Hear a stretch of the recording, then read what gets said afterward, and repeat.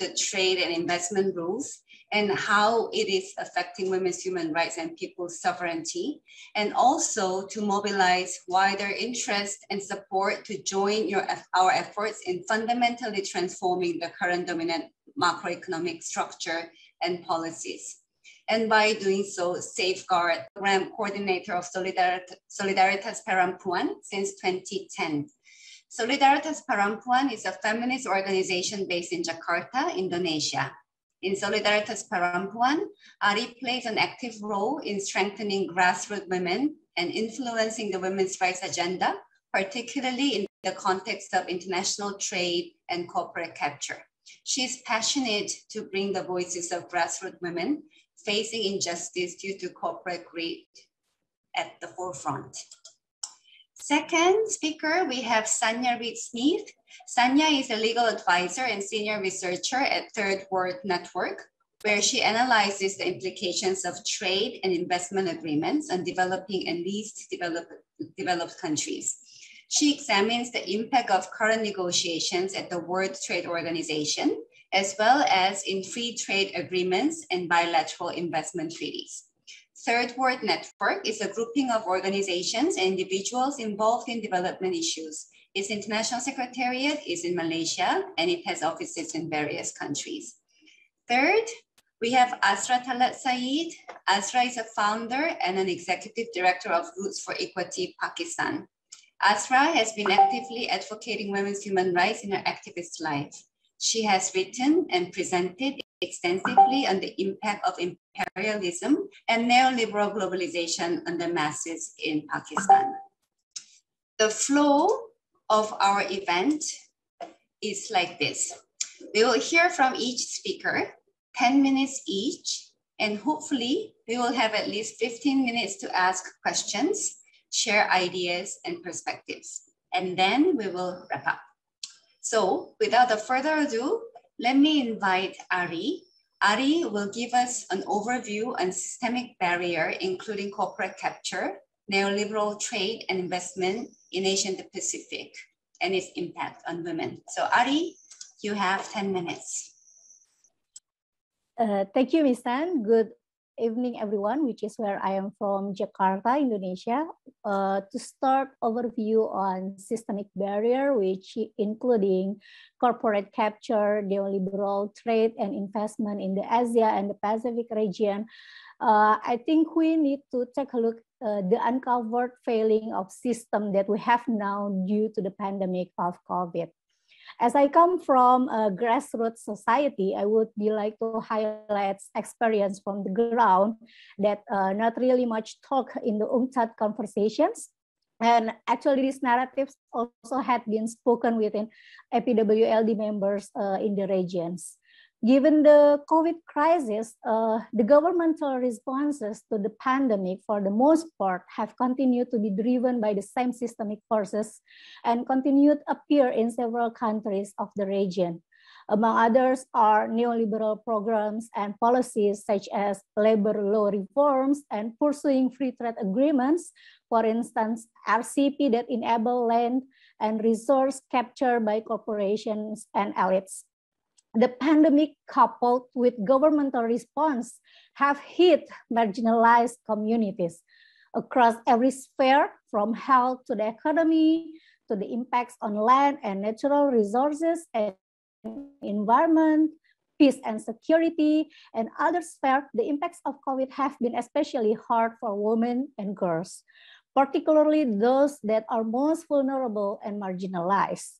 Women particularly those who are disabled or from remote rural areas, single and older women staying in isolated places, women migrant workers, stateless and refugee women, internally displaced women, indigenous women, Dalit and other minority women, even uh, women who are staying in crowded small places and LGBTQI plus communities were all more, were all more uh, vulnerable to the impacts of the pandemic. But the business continues as usual.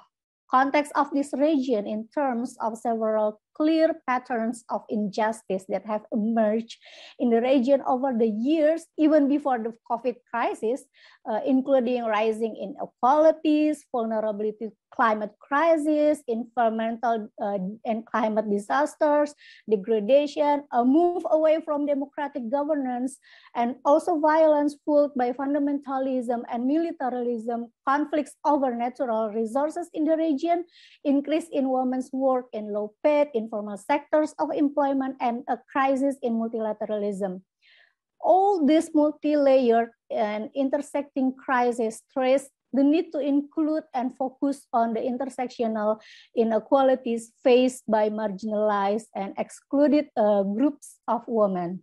We may see another indicator of the worsening uh, inequalities, not only between countries, but also uh, between men and women, as well as the effects of unjust, inequitable, and unsustainable development is the increased indebtedness particularly of developing countries, which is expected to depend in the coming years owing the pandemic. UNCTAD itself notes uh, over the last 20 years, debt has steadily increased in developing countries. Uh, and the total external debt stocks of developing countries had already reached of like staggering uh, 10 trillion US dollar women uh, bear the burn of the rising inequalities globally. Uh, from the Oxfam uh, surveys, women are 4% more likely than men to live in extreme poverty. And this gender gap rises to 8% in Central and South Asia. It is expected that gender poverty gaps will increase as a result of the pandemic in 2021, which is in this year. And uh, in the Asia and the Pacific region, we notice that has long been a significant of geopolitical strategic battleground between the so-called North and South, and West and East, and it continues to be a battleground in the so-called U.S.-China uh, rivalry, even as the EU and countries such as the UK, Australia, South Korea, Russia, and other to look to retain and extend their power in the region. China's growing economic influence in the region is underpinned by its massive Belt and Road Initiative that was launched in 2013. It is also a party to the recently signed uh, Regional Comprehensive Economic Partnership, understood to be the largest trade agreement ever struck. And we notice that uh, in this region, it is not only the WTO continues to, to prevaricate of an issue of such fundamental importance during a deadly pandemic, but the region also struggling with other issues, which are the trade and investment agreements. Uh, we know from the civil society and the grassroots movement, the negotiation of trade and investment agreements always doing in the closed door without the without the transparent, without the without the meaningful participation of the civil society, particularly for for the grassroots uh, women. Uh, but in the other hand, FTAs provide sweeping powers to foreign investors, including the privileged to sue states in arbitration court system through the investor state dispute settlement. And some of uh, some of us also call terrorism litigation. Uh, in isds tribunals companies can claim sums in compensation for government action that allegedly damage their investment. Through direct expropriation or indirectly through regulation, the number of ISDS suits have also alarming skyrocket. I must say that the asymmetrical power relations between not only just men and women, but also between countries, between rich and poor, between all of the different multilateral systems as space that currently exists. And we can't really have any kind of gender equality, even though we have a three leaders uh, in the three uh, trade organization in the global level we can't really have those unless there is a broad overarching transformation of our current systems. And that means a structural as well as a systemic transformation. And it requires an economic system that puts priority and puts importance on, on women's rights, on gender equality, on our planet and our people over the profit. I will end with that. Thank you so much, Misan. Thank you so much, Ari, and thank you so much for keeping well in your time. Uh, I think you raised quite a several important points about how actually COVID has not created a new problem, but exacerbated the existing deep structural crisis, starting from the unemployment, the health crisis, and also climate crisis, and further deepening the crisis in multilateralism. And despite that crisis, the neoliberal trade and investment rules has progressed within our region, especially in Asia and the Pacific through the RCEP, uh, as well as the expansion of the BRI and the mega investment treaties, as well as, um, you know, keep going with the secrecy of the trade negotiations and cementing the ISDS. And by doing that, actually creating a real barrier to the genuine free trade that should benefit the people, right? By putting the profit and corporate power at the center of this trade and de development process and the policies.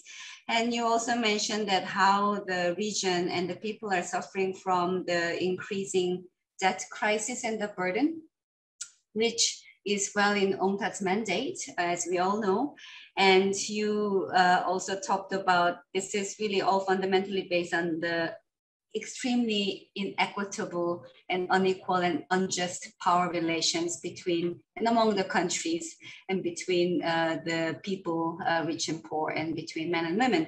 And yes, and to tackle that, the importance of putting women's human rights, gender equality, our environment and the planet and people's sovereignty at the center of our conversation. So thank you so much, Ari. And I will next invite Sanya and uh, you have 10 minutes and Sanya, I will screen your PowerPoint presentation. Thank you very much, and thank you for including us in this important session. Um, so I just wanted to give some updates on some of the current negotiations of e-commerce rules that are happening that can affect women and women workers, um, as well as, of course, they have general implications for privacy and consumers and so on. So um, as you can see on this slide, 164 um, countries are members of the World Trade Organization, and there they have to decide um, in November this year whether to renew a moratorium on tariffs on electronic transmissions. This means um, they have to decide whether they will allow tariffs, taxes on downloading things like uh, ebooks from Amazon or movies from Netflix or songs from iTunes. And there have been a number of studies showing that if countries could impose tariffs on these kinds of things, they could raise a lot of revenue. Um, and those studies are in the link that we'll give you at the end uh, on the third slide. So they need to decide, for example, um, we know that um, least developed countries, for example, are likely to lose 10 billion US dollars a year if they can't impose tariffs on these electronic transmissions. And we know from UNCTAD studies, for example, that when governments lose revenue because they remove tariffs, then this can lead to cutbacks in social expenditure that disproportionately affect women due to their domestic and reproductive roles and responsibilities. And women are more likely to suffer if essential services are reduced like water, healthcare and education because of a loss of government revenue. And tariffs, uh, when governments remove tariffs, economists have found that it's very hard for developing countries and least developed countries to make back that revenue from other sources. There was a paper by the International Monetary Fund that said it's a 30%. Um, that 30% of that lost tariff revenue can be made back from other sources if you're a low income country. And it's only slightly more if you're a middle income country. So um, the, all the WTO members, 164 of them, will have to decide um, in the end of November this year whether they're going to renew their ban on imposing tariffs on downloading these things from the internet. Then, um, as you can see, 23 countries are in the process of joining the WTO. And to get into the WTO, they have to get the consent of all the existing WTO members. And they often ask them to join optional agreements in that process. For example, to join the optional information technology agreement, which again requires the removal of tariffs, this time on physical IT products that are listed, you know, like uh, computers or mobile phones or computer chips and things like that. And so there's another paper that we give a link to at the end, which shows the impact on revenue of joining these optional information technology agreements, which countries may be required to do in the process of joining the WTO, as some have had to do in the past. Um, then in addition, 86 WTO members have chosen to negotiate optional rules on e-commerce. There's no legal mandate for this, but the negotiations are going ahead. And in that, they are trying to make permanent that moratorium that I mentioned on tariffs on electronic transmissions, um, where you can't impose tariffs on downloading ebooks or movies from Netflix. And they're also proposing everyone in that initiative should join those um, optional WTO plurilateral agreements, the information technology agreements that require the removal of tariffs on physical IT products like computers and phones and things. Um, so that is supposedly an optional agreement, but again, the 23 countries who are in the process of joining the WTO may also be required to join those optional e-commerce rules if they want to get into the WTO. Then on the next slide, you can see that um, there are a number of free trade agreements being negotiated in the Asia Pacific region that also can have e-commerce rules. Some of these have already been agreed, like the intra-ASEAN e-commerce agreement amongst the 10 countries um, in Southeast Asia. And uh, they're now in the process of ratifying that. And that's a little bit weaker than the e-commerce chapter in, say, the Comprehensive and Progressive Agreement for Trans-Pacific Partnership or CPTPP. Singapore has various digital economy agreements. And as you can see there, the CPTPP, which uh, you can see the countries involved in that, um, they're the countries who signed it. Malaysia and Brunei have not yet ratified it. And other countries in the Asia Pacific region may try to join it, like China and Thailand and so on.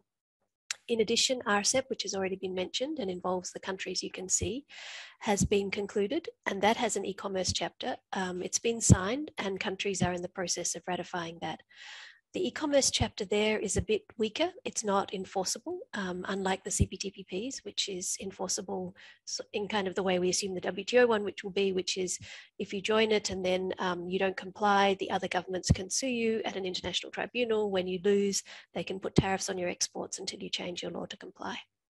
And something that we will be similarly enforceable, we expect, is the EU's proposed e-commerce or digital trade chapter with Indonesia and those free trade agreement negotiations, which are going on as we speak. Um, they've been happening this year, even in the pandemic. Then the EU ASEAN free trade agreement has been stalled for a while, but if it restarts, that may also have an e-commerce chapter. And South Korea has recently proposed a digital trade agreement with ASEAN. So this doesn't count the kind of existing done deals like the Japan ASEAN, uh, sorry, the Japan US uh, digital trade agreement that was done under the Trump administration. This is just some of the live negotiations or where they're still deciding whether to ratify. So, um, in a lot of these, they also try to have a permanent and enforceable ban on tariffs on downloading ebooks and movies and so on. Um, then, in addition, uh, both in the WTO plurilateral negotiations and the uh, these free trade agreements, they often try to restrict government access to source code or algorithms. So that's you know the software that human beings can read. And the problem with this is that there's um, often algorithmic bias or discrimination. So, for example, we know that Google shows more ads for chief executive officers to men than to women. We know that Amazon um, had some artificial intelligence to sort through resumes of people who wanted jobs in Amazon, and they penalized resumes that included the word women, like I participated in a women's chess club. Then your resume is downgraded, and it downgraded the graduates of two all women colleges. Or, for example, if a bank had um, software, an algorithm in its software which said, only lend to men because they tend to be richer, so they're more likely to repay the loan. So, how do you know if there is this kind of discrimination in these algorithms? One of the ways is for any kind of government anti discrimination commission to check the algorithms or check the source code. But the proposed rules in the plurilateral WTO commerce negotiations and in a number of these free trade agreements, like the CPTPP and the EU's and so on, say governments cannot check um, source code or algorithms for this or other reasons. Um, sorry, I'm jumping around a bit, but some of the other provisions that can reduce tax revenue and therefore affect women is um, in the WTO plurilateral e-commerce negotiations and some of these free trade agreements, they propose cross-border data flows, which says you cannot require a copy of the data to be stored in your country, for example. But we know that countries like New Zealand require a copy of the company's tax records, which are stored on the cloud. So let's say McDonald's operates in New Zealand, they store their tax records on the cloud. Where is, is the cloud server for that that McDonald's uses. For example, if it's in Ireland and the data is not stored in New Zealand, if the New Zealand government wants to check if McDonald's is doing tax evasion, they have to try and get that data back from Ireland. Hopefully, they have some mutual legal assistance treaty. It might take three years, they may never get it. So, the New Zealand government says that tax records that are stored on the cloud, a copy must be located in New Zealand so they can check for tax evasion. That's not allowed under some of these proposals in the WTO optional e-commerce negotiations or in some of these free trade agreements. And even in the UNCTAD 15 text, they have an agreed paragraph that says, let data flows with trust. So trust is privacy protections, but doesn't have exceptions for tax, for example. So even the UNCTAD 15 text, and I'll put in the Slido um, which paragraph it is, is talking about data flows are fine as long as there's some privacy protections not tax exceptions that might want where you might want to require the tax the data to be stored locally so your tax authorities can check if there's cheating. Another way that revenue can be lost through these um, e-commerce rules is, as I was saying, the source code provision. Um, in the US, for example, the tax authorities check the software used to prepare tax returns or do tax compliance to see if there's cheating. So you can't check that either under some of these e-commerce rules. So basically the upshot of all this is that there would be less revenue uh, for governments, so less money for public services, which particularly hits women hard, as UNCTAD has noted.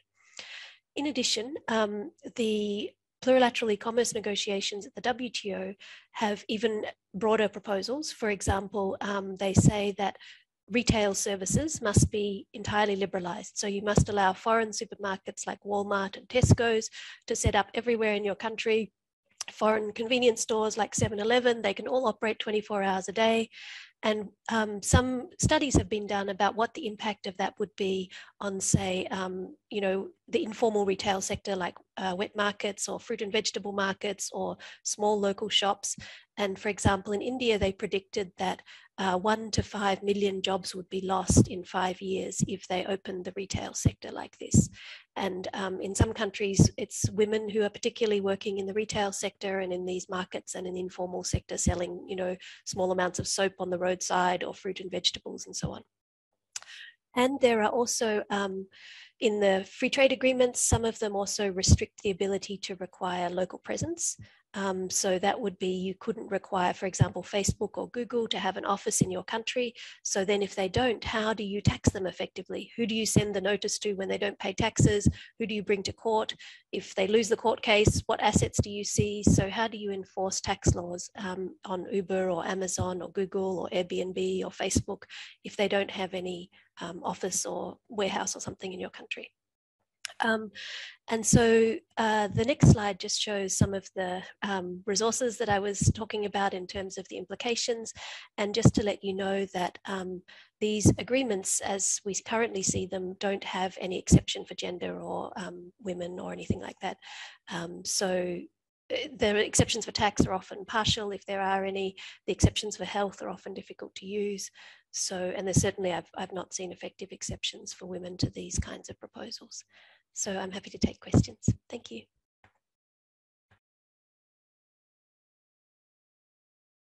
Thank you very much, Sanya. I don't know how to even summarize the information that you shared because I'm now doubting my intellectual capacity a bit. But, you know, I think the most important and kind of a shocking information that you shared is how the trade rules are actually binding or disabling the government's capacity to mobilize the natural, uh, national resources, right, domestic resources through not able to impose tar tariffs or not able to collect taxes to the large multinational corporations with a more liberalized digital trade rules, including, you know, the free data flow or flow data with trust, and also not able to request the local presence of those um, data hub or the foreign tech tech companies, right? And I think uh, you also raised the important kind of a point that for the developing countries to enter into the global structure of trade, either being a member of WTO or the free trade agreements outside of the WTO, they don't have much power to negotiate for the benefit of, of, of their own development policies, but they have to just surrender them, themselves into the existing or dominant trade rules. And also that is ongoing actually battle within the current UNCTAD 15 negotiation text right? Um, and also um, the, the absolute liberalization of the retail services, uh, which doesn't only result in the massive loss of jobs and potential exploitation of the labor, but fundamentally erasing the sustainable livelihood of the people that they used to um, enjoy or define for their own life, but it's now totally replaced by something that is coming into our own community, right? So, yeah, thank you so much for raising those points, and I I really invite questions and any points for uh, further discussion later on when we have three minutes to interact. And last but not the least, Azra, the floor is yours, and you have 10 minutes to share what alternative do we collectively imagine and we want to achieve? The floor is here. Azra, you're on mute still? Sorry. Um, you know, when uh, Ari and then Sanya was speaking, I was looking and thinking about the women with whom we work on the ground. And I have worked with uh, personally for the last 25 years. And everything that was being said, especially by Sanya, was so far away from women's lives. It seemed like we were talking of the Mars, life on Mars, and life of the rural women, and life of the women um, who are even part of the urban poor, of the industrial urban poor. And um, I think we cannot bring these two worlds together as they exist um, in any kind of equality. The only way we can bring uh, decency to this world is by eradicating what Sanya was talking about. There is no other way. On one side, and as uh, uh, Misan talked about, that my life has been uh, looking at imperialism. So I cannot actually talk about uh, what we need without talking about imperialism. And imperialism, on one hand, is has been the United States and the G7 countries. And now, in the past some years, we also are looking at China. And so we have these two monsters who are literally suffocating our very breathing power. We cannot breathe anymore, to be honest. Um, and uh, my, at least the conviction I have through the, the many movements we have worked in solidarity with, whether it is the women's movement uh, within the APWLD structure, whether it is the women's movement in the International Women's Alliance structure, or it is the women's movement and the peasant movements in my country.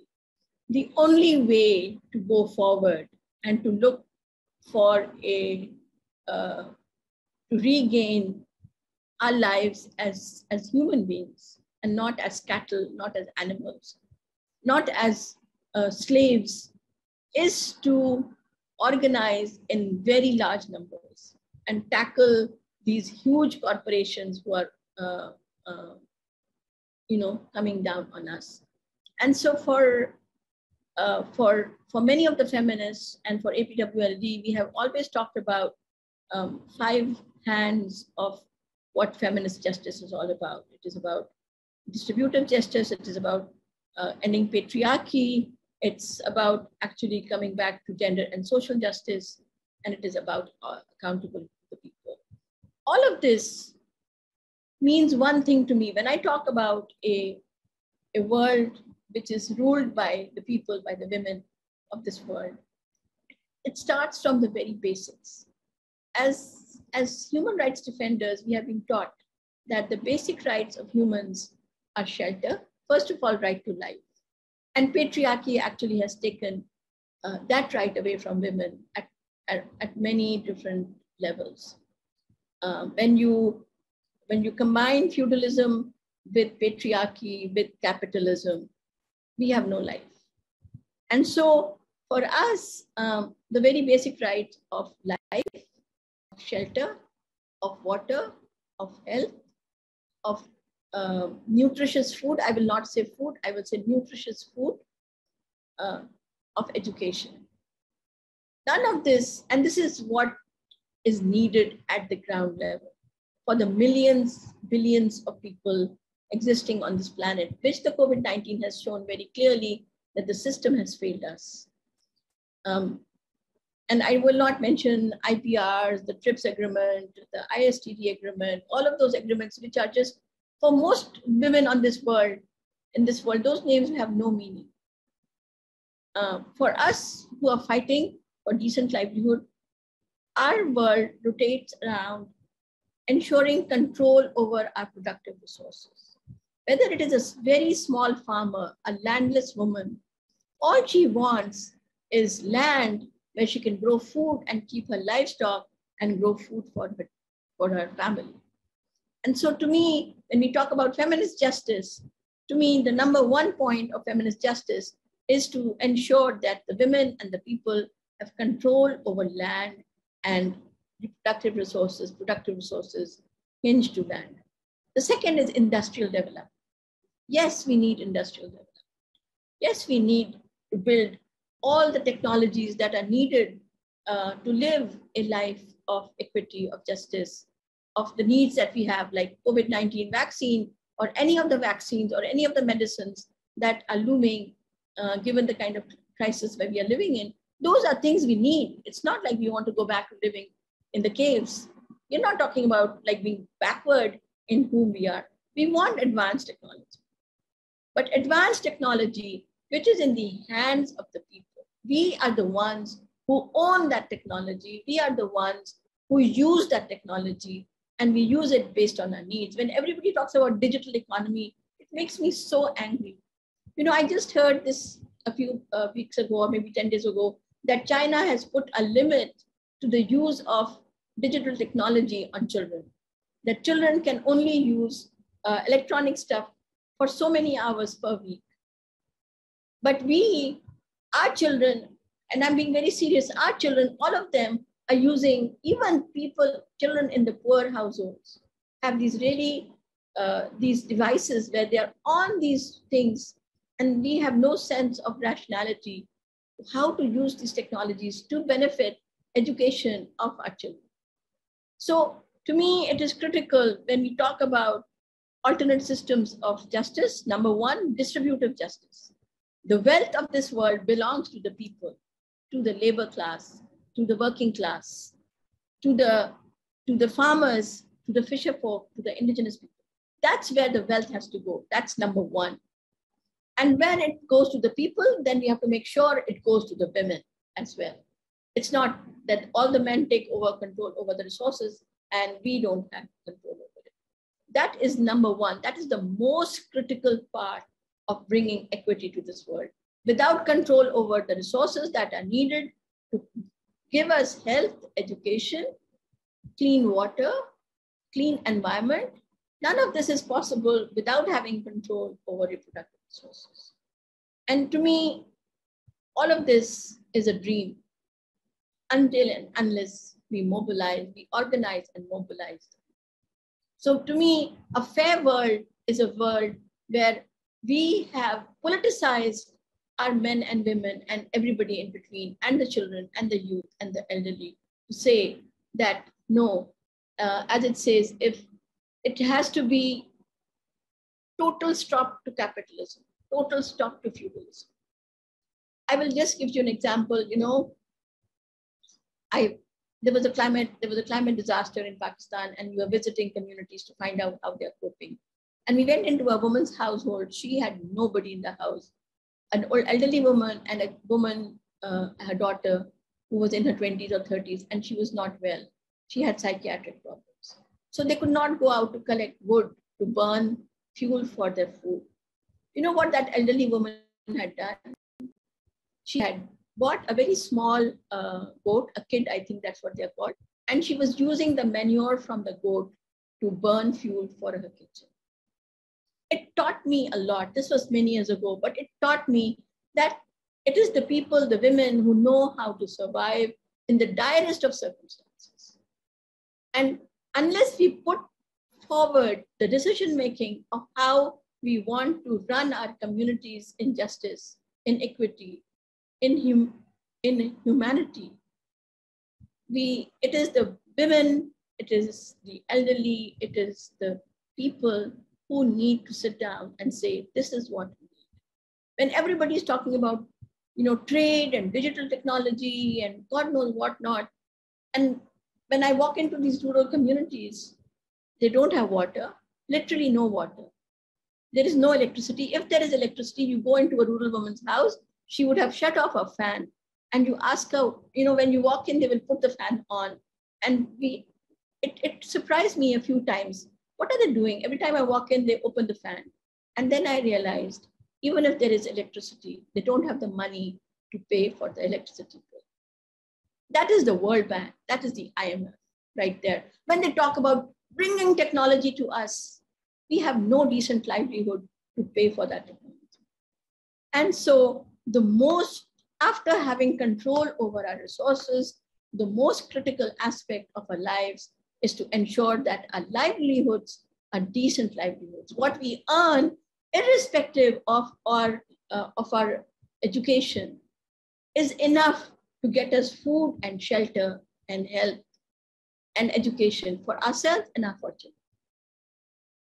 It, we have made a disconnect between what we earn and what are the basic necessities we need to live as humans on this earth.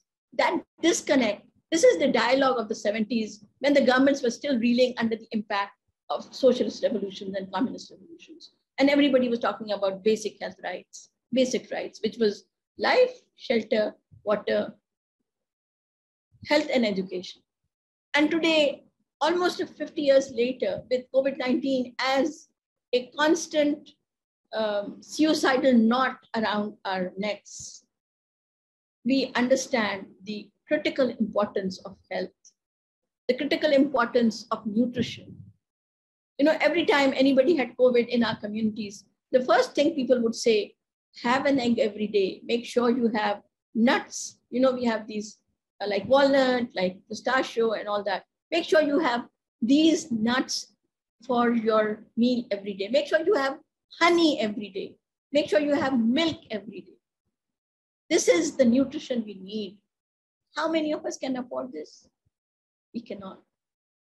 So all this trade deal about countries running into our lands, occupying our lands, all this conflict in Palestine, in Kashmir, in Afghanistan, what is it all about? It's not about distributive justice. It's not about equity. It's not about women and men to be equal. With all the nonsense about women in Afghanistan facing the Taliban, you know, the planes which left Afghanistan one after the other, were crammed with men.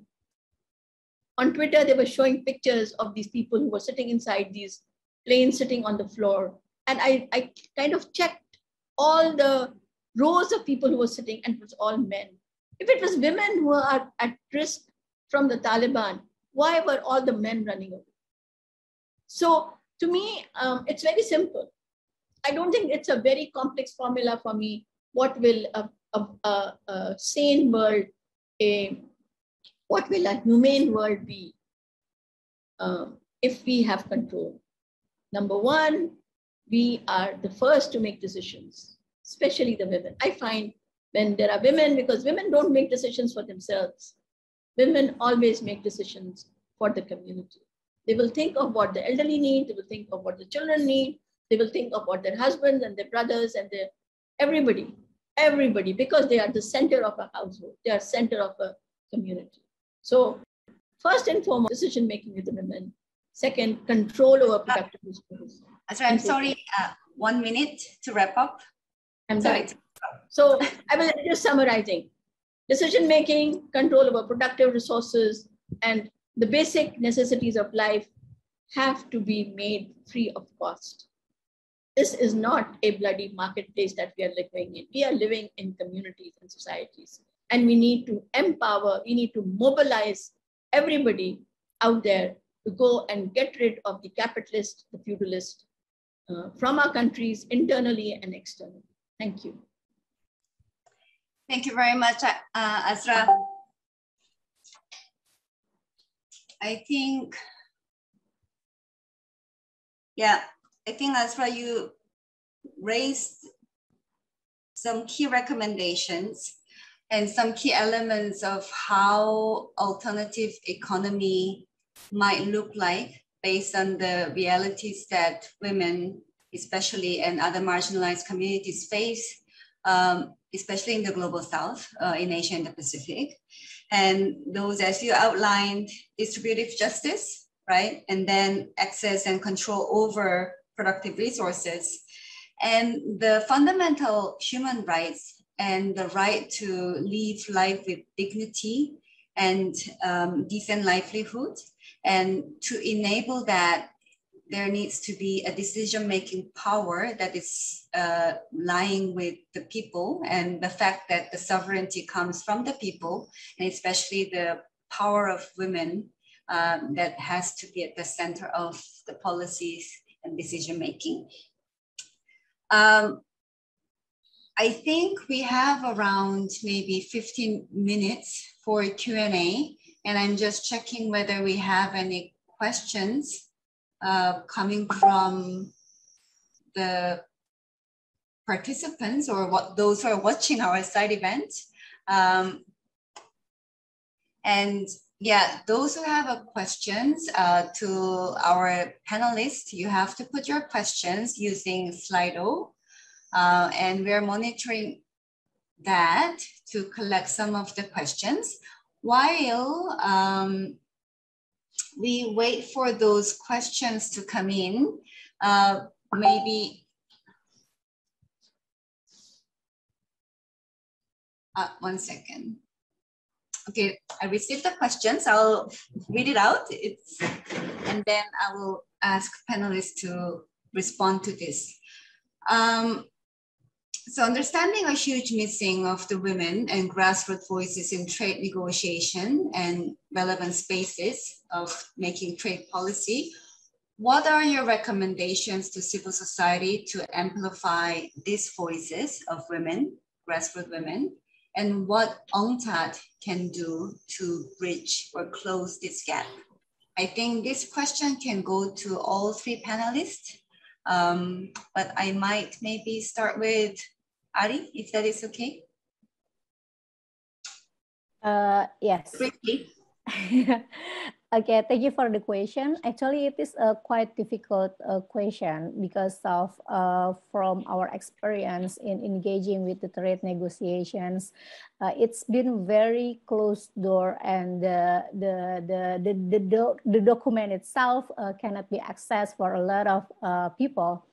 Uh, but and the other things is uh, actually what uh, what what already Azra mentioned is about uh, the whole things on the tax negotiations are not in the very uh, grassroots realities uh, are not in the very realities at the as at the grassroots level.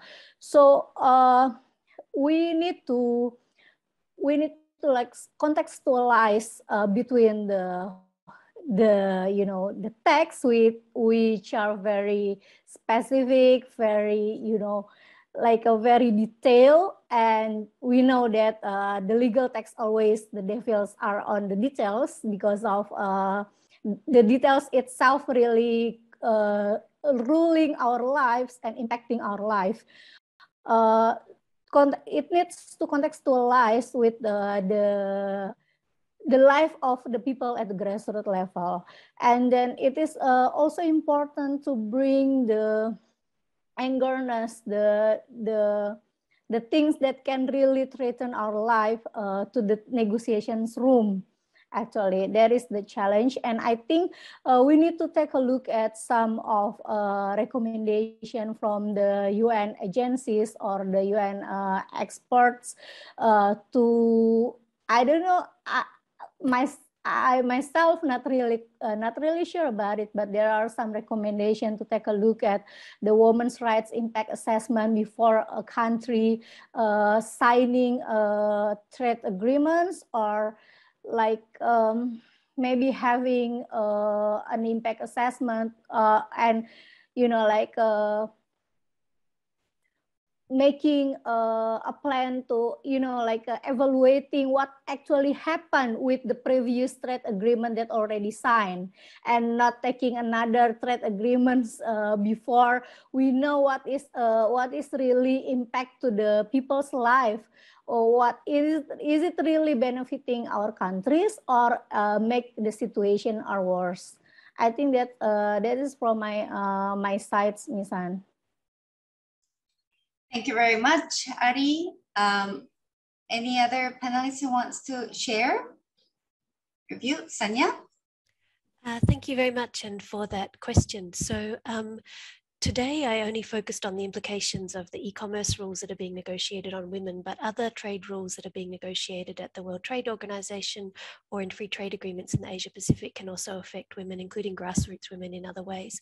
For example, the Regional Comprehensive Economic Partnership is predicted to cause ASEAN to lose 3.8 billion US dollars in tariff revenue per year if it's ratified. So how many COVID vaccines could that buy? How many medicines could that pay for? How many nurses' salaries could that pay for? That money is gone permanently, doesn't come back, according to a study using World Bank methodology, which I'll put in the Slido. Um, then, of course, in the WTO, uh, in terms of how public these negotiations are. In the WTO, some texts have been made public. For example, they are negotiating uh, to restrict fishery subsidies. And in many countries in the Asia Pacific, fisher folk are the poorest of the poor. So if their governments cannot subsidize them, then that's even worse for poverty and livelihoods. Um, those texts are made public from time to time, but the WTO plurilateral texts, like on e-commerce, investment facilitation, services, domestic regulation, disciplines, and so on, are generally not made public.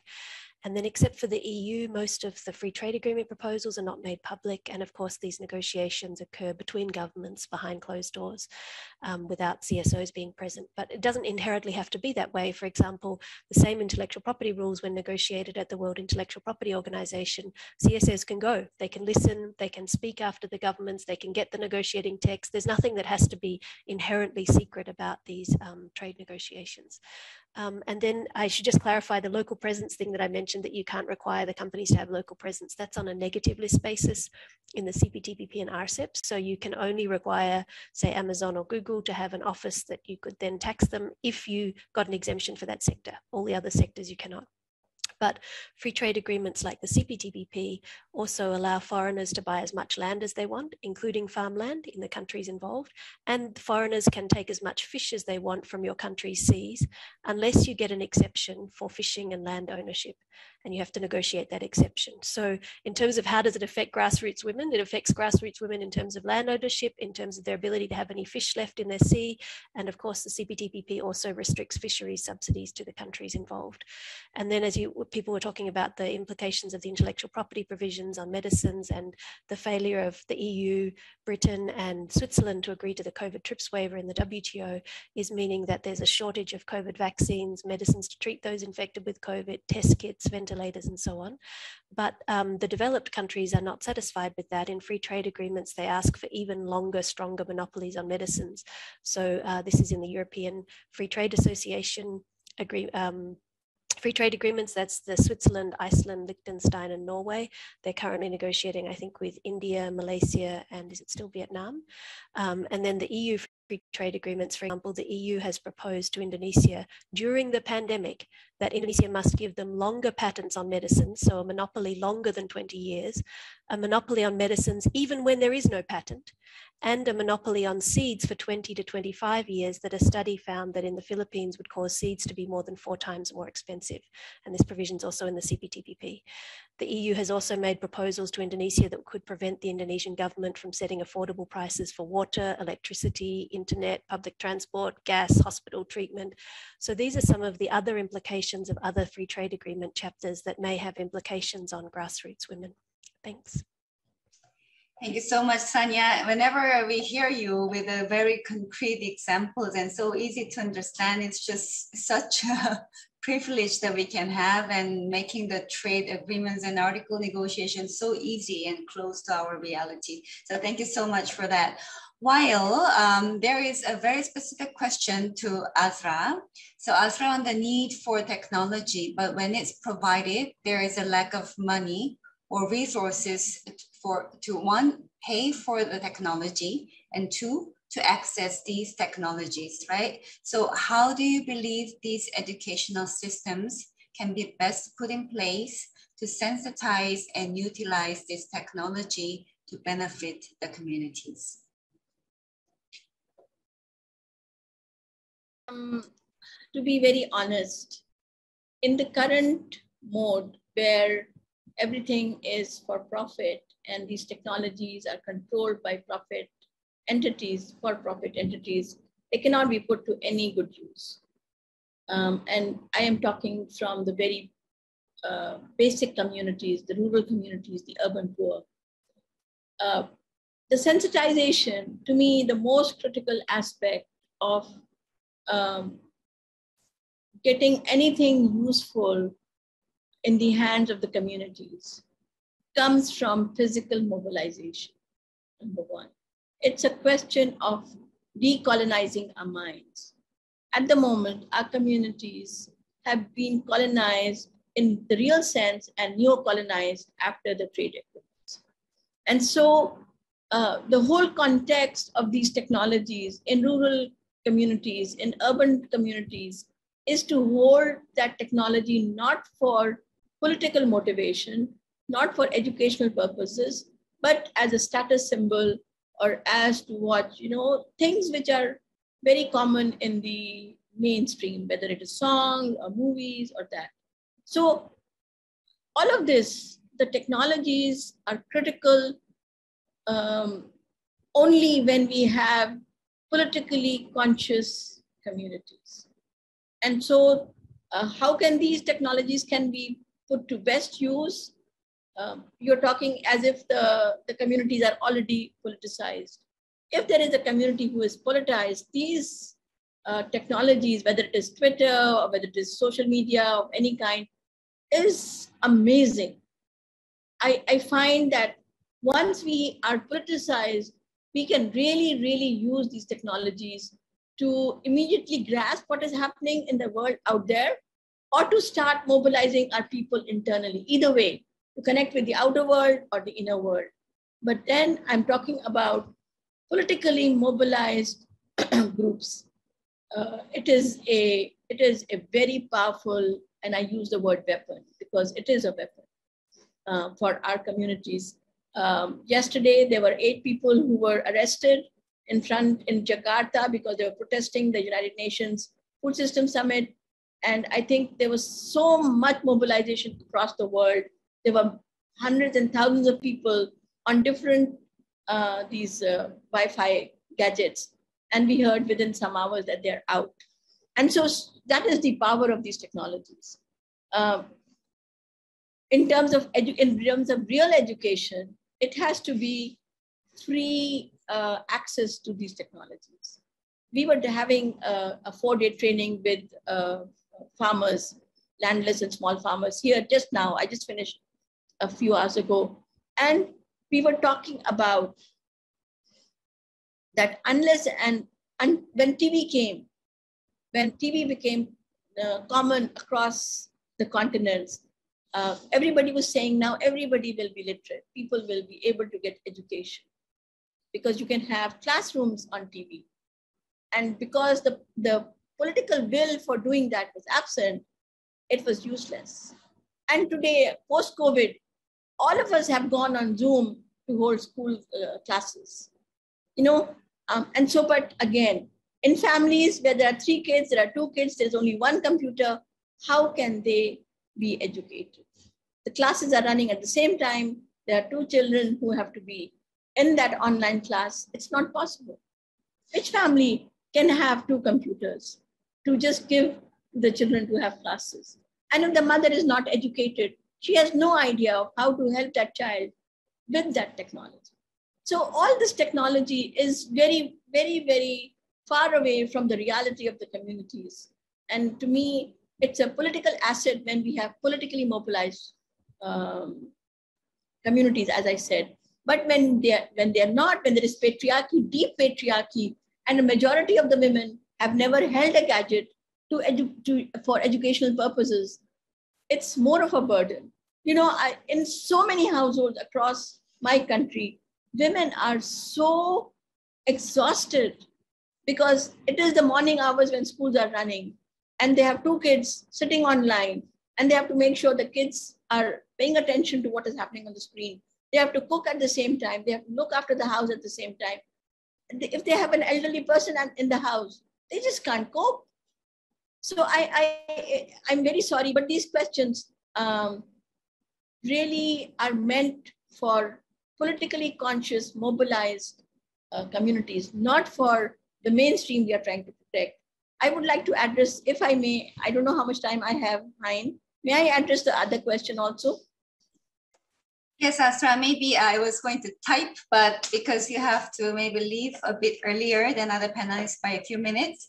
So just going back to the original mandate of the UNCTAD, right? So UNCTAD is a primary um, body or space within UN to talk about the trade and development policies and related issues. Uh, and then the original ideology of establishing UNCTAD was to help the developing countries uh, to have their sustainable trade and development policies and dismantle as much as possible the disparities and inequalities and imagine a new economic, international economic order. But now at the current state, the UNCTAD seems to be at risk especially also their independence being threatened. So there is a two questions in one. So one, maybe this can be specific to Sanya, that what is the one thing that we can focus and prioritize to keep the original mandate of UNCTAD stronger based on what's happening in the current negotiations because we see the clash between the EU developed countries and G77 in many specific elements of the negotiation text. And then the, the other element of this question is, what is one key demand you have uh, to achieve a just and feminist and equitable economic order. I hope you're not losing Azra with our internet connectivity, but yeah, this one key demand or recommendation for a more just economic policy and structure uh, is to maybe Azra first and Ari, uh, if Azra has to leave a bit earlier. Sure. Um, so what is the question? The last question is? the last question is, what is the one demand or suggestion, recommendation from you to transform the economic structure, right? Yeah, and then in relation especially to the role of UNCTAD. Um, for me, it's very easy, uh, Misan, get rid of private property. You know, uh, if we can get rid of private property um, and we can go to a system where the government is responsible for providing the basic needs of society um, and making sure that the production uh, systems are hinged to produce for the needs of the local communities, whether it is food or clothing or education or health. So if my community is suffering from uh, infectious diseases like malaria and uh, you know, the infectious, the uh, tuberculosis, the infectious diseases which are still rampant in, in our communities, then the healthcare system and the, and the pharmaceutical system should address those needs which are prevalent in the community at the highest level, not the kind of health needs that are relevant to the rich and the affluent parts of my economy, or as you said, outside my economy. That is how the system is running at this point. The educational needs of our children, of the children in Pakistan, is that there should be excellent primary schools available to them. And we have very good universities now, but our public private, uh, our public primary system is has gone to the dogs. So how can we have a very big educated society when there is no public primary school system present? So everything which we produce, whether it is education or health or food or all kinds of technologies, have to first benefit the people who live in that country, who live in that local region, not somebody else in Japan or the United States or China. It has to be the people of Pakistan or the people of uh, Indonesia or the people of Malaysia. We cannot keep on producing for the needs of the other countries and not for our own. That is the key. Get rid of private property. Make sure that there are centralized state governments providing to the needs of the people. And I think we can solve the problem. The problem, although, is really based on people's ability to push uh, power away and take the power themselves. Thank you. Thank you very much, Azra. Um, should I go to Ari or Sanya?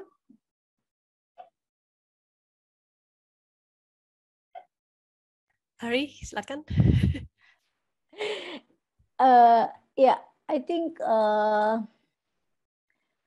it is important uh, for us, uh, particularly from developing countries or from uh, least developed least developing countries, to strengthen UNCTAD mandate because of, you know, the current situation uh, due to, to a lot of crisis, uh, climate crisis, uh, COVID crisis, and all of the crises are interlinked and we really require that UNCTAD should be and maybe can be balancing uh, the asymmetric uh, power between uh, rich and poor countries and also uh, the asymmetrical uh, power that I already mentioned in the earlier uh, discussion because we think that until now we still have uh, some of critical analysis from different perspective. Uh, for instance, the last uh, the last uh, the last things uh, from UNCTAD about the RCEP that it can really make our government to rethinking again about the benefit to join with the RCEP, even though finally they are still joining in. Uh, but I think those of things uh, are crucial uh, for uh, for people from uh, from developing country or from the yeah, from Indonesia and from uh, countries in the Asia and the Pacific ones, I think. Thank you very much, Ari and Sanya.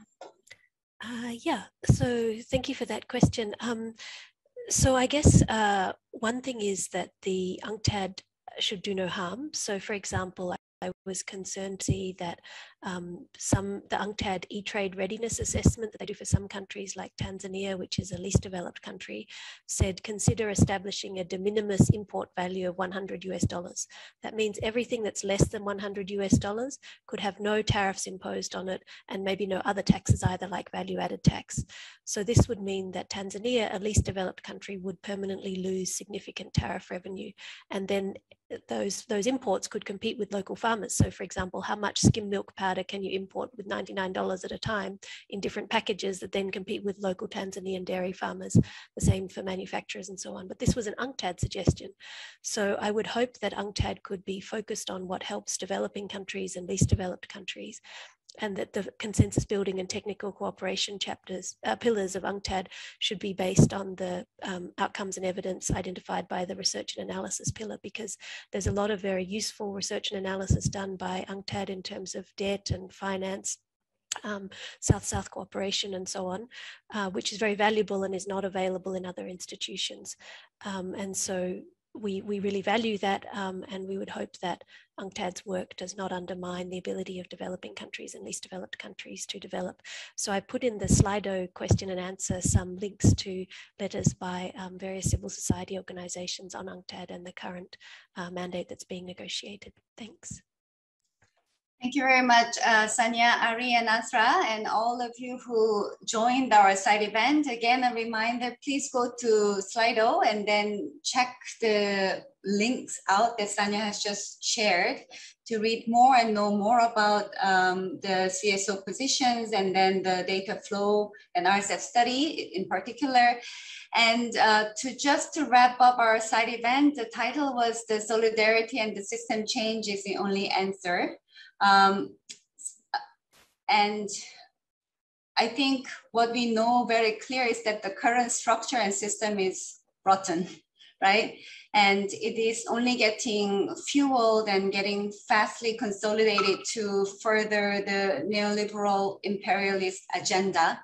And Azra has mentioned that the only way is not to surrender ourselves to that neoliberal ideology that is so infiltrated in, in every layers of our society, even in our education system, right? And for that to happen is to be vigilant in political education and knowing what is happening and what these um, technical articles in real means to women.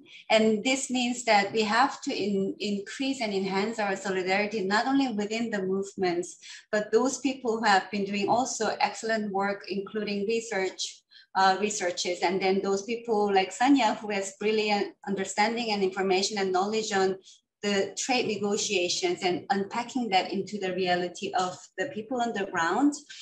So that solidarity building is something that we have to be very nimble in doing so, as well as to safeguard the UNCTAD in its original mandate.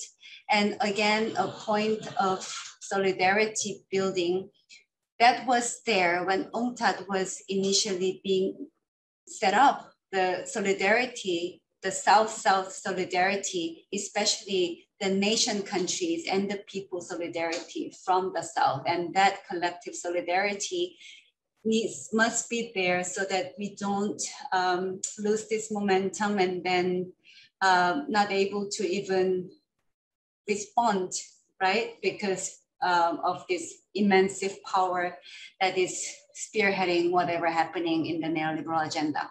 So yeah, so Sanya has been sharing the links uh, to the Zoom link as well as the Slido. So please go back to the Slido. And then I think the side event was uh, live streamed on APWLD's YouTube as well. So please um, revisit it if you are interested. So thank you very much once again, Ari, Azra, and Sanya. And we will continue our work together. Bye, everyone. Thank you. Bye. Thank you. Bye. Take care, Azra. Thanks for organizing. Hi, thank you. Um, hello and welcome to this side event on how to build a just recovery from COVID. My name is Sam and I'm from Friends of the Earth International, one of the largest grassroots environmental organizations in the world, with over 2 million members on, uh, in 73 countries. The political, economic, and social response to the COVID pandemic will shape our world over the next decade. We've seen an estimated between 5 and 15 million people die. Hundreds of millions of people have got sick. Cities shut down. Health systems collapse. Economies ground to a halt. Trillions of dollars um, spent in, from governments. And we've seen both incredible acts of solidarity and heartbreaking greed. This is a mo major moment um, of change and transformation uh, when the UNCTAD 15 conference is happening across the world, movements and some governments uh, campaigning and building a just recovery, be it a solidarity food network in Brazil, uh, stopping fossil fuel bailouts in the US, new economic models, or supporting Indigenous land management. In this side event here at the CSO UNCTAD Forum, uh, we hope to learn some policies and strategies on how to demand and campaign for a just recovery. It'll be a space to increase our understanding of just recovery principles uh, and help to build the global movement for just recovery. For us, um, at, Friends of the Earth, which is the organization I'm from, um, a just recovery doesn't mean going back to normal. It means that it's time to prioritize justice, sustainability, human rights, um, and to protect our livelihoods and the planet. Uh, the COVID-19 crisis is the result of a system that prioritizes profits over people and the environment.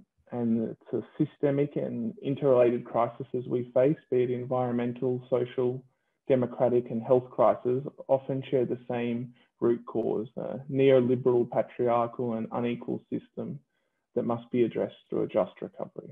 We've got three uh, incredible speakers today. We've got Dipti Bhatnagar from Friends of the Earth International, and she's based in Mozambique, who'll be speaking about a, just, a recently released uh, Just Recovery Renewable Energy Plan for Africa.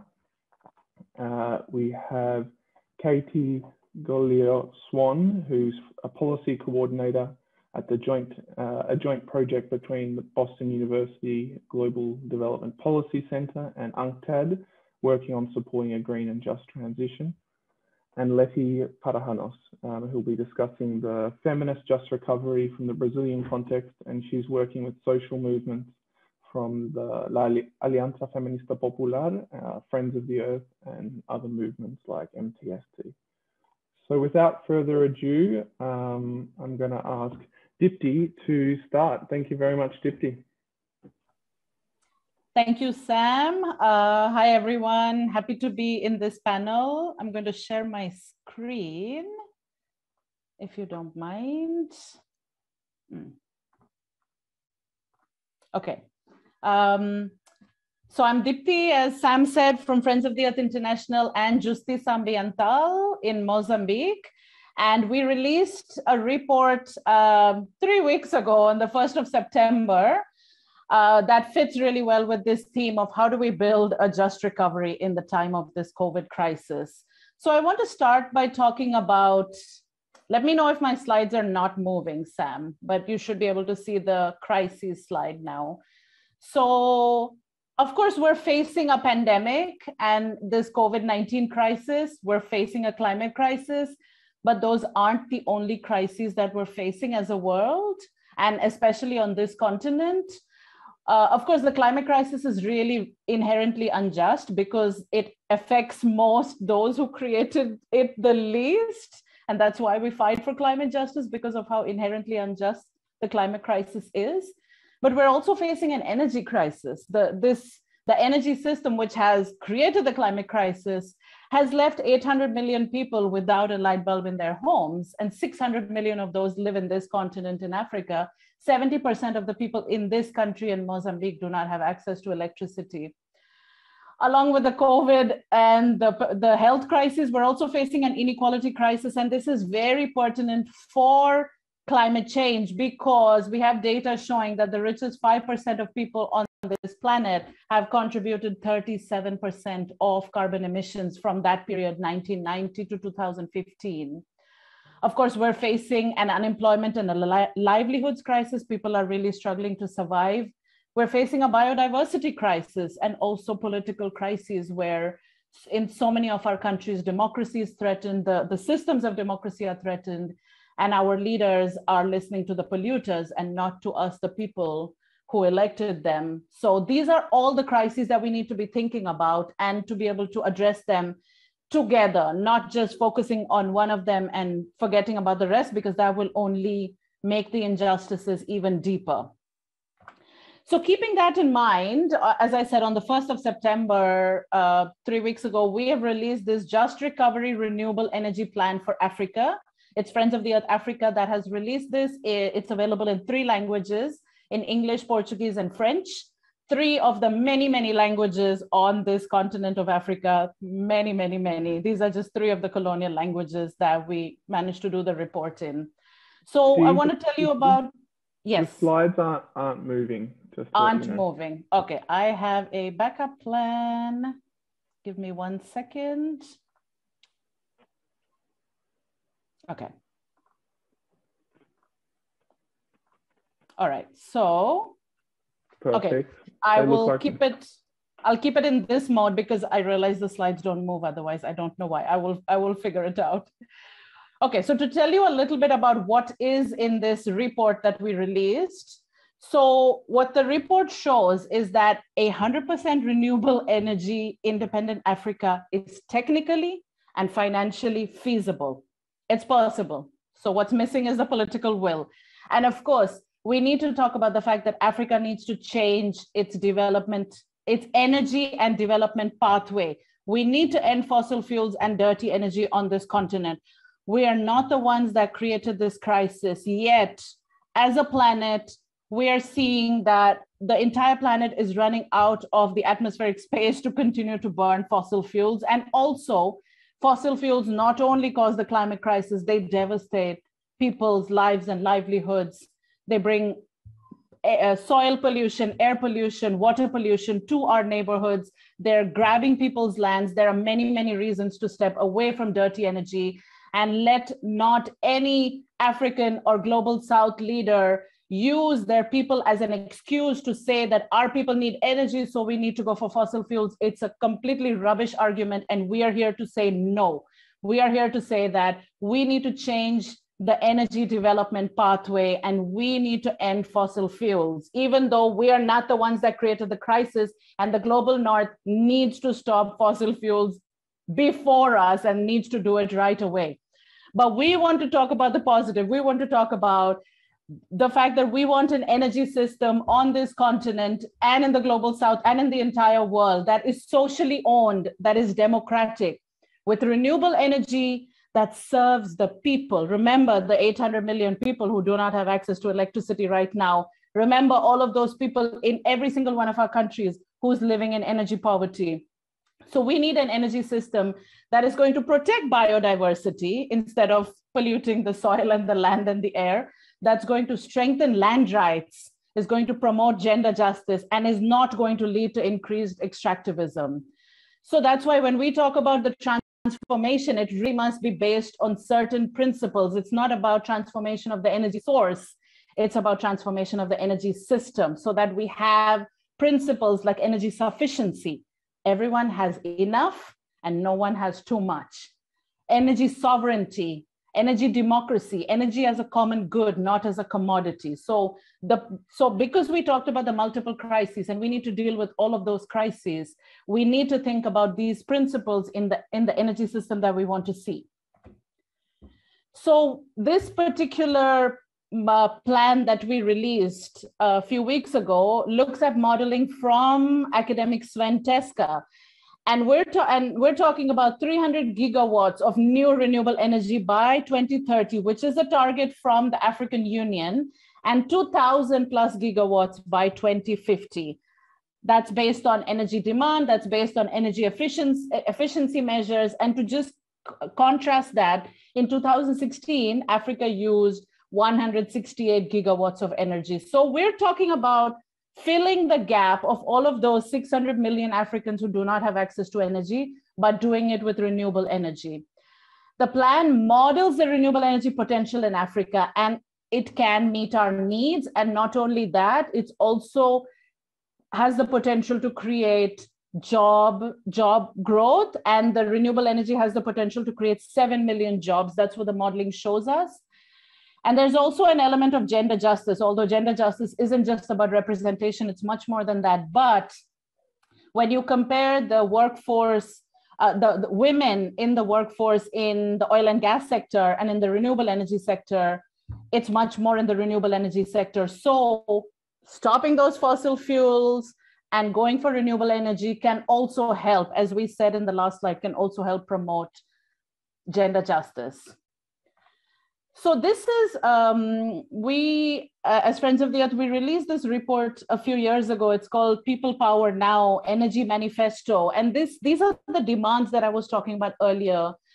that our energy system for the future needs to be not just renewable energy but needs to be based on the principles of energy sovereignty energy sufficiency needs to talk about a just transition for workers for communities needs to worry about whose land is going to be used for solar panels or wind farms and are those people involved in the decisions and are those people owning and operating those renewable energy systems or are they just losing access to the land? Is the is the future energy system going to be more extractivism that's coming from you know the congo or, or argentina lithium from argentina rare earth minerals from the congo? Is that what the future energy system is going to be about. And we say, no, we want an energy system that reduces extractivism and, and doesn't devalue, like is happening right now, the, the human beings who are currently producing those materials that, that go into our devices of, the modern era. So it's very intentional about not being just transforming the energy source, but very much transforming the system and talking about ownership and talking about land use and talking about the materials used and all of these things. So going back to the plan, talking about financing really quick. So in, in the Just Recovery Renewable Energy Plan for Africa, and of course the Just Recovery part here is really important also because of the context right now that we are talking about is in this event, which is that COVID has had a major impact on many, many of our countries, on many, many communities and peoples. And to be to, to be able to, to target that is really important. Thanks, Sam. I got that. And uh, it's going to need it's going to need money to have this just recovery renewable energy plan for Africa is going to need money and it's 130 billion dollars per year and where does that finance come from and we have some ideas already we need to stop tax avoidance tax evasion and illicit financial flows and that image there shows and this image is from 2014 and it shows 58 billion dollars are lost because of illicit financial flows and the number the, the, quoting a number from UNCTAD, where we are right now, it's $89 billion that are lost currently. So this is a huge concern. And that's one of the ways, stopping those things is one of the ways that, that we can um, have funds to be able to do something like this renewable energy plan for Africa. The other way is to get the finance, of course, rich countries must repay the climate and ecological debt that is owed from the global north to the global south. In this particular case, we're talking about Africa because of the renewable energy plan, but this stands for the entire global south. We can cancel Africa's debt, but continue to hold the leaders, our own leaders as well, who were complicit in the debts. And what about an idea like a global pandemic solidarity tax on the wealthiest? Because we need to target inequality to be able to stop the climate crisis, because we saw the numbers the richest 5% have produced 37% of the emissions. So the money exists. Let us not let anyone tell us that the money doesn't exist, but the political will is what we are all fighting for. And so we released this report three weeks ago. And at the same time, we also released a political statement which captures the main points that I've been talking about here. And that was signed by 50 organizations from across Africa led by Friends of the Earth Africa, but joined by so many other so many other organizations. And we will put the link in the chat so that people can access this. And what we've been doing in the three weeks since we released this is to get this document into the hands of our governments in Africa, get it to our regional bodies, to the African Union, to the AMCEN.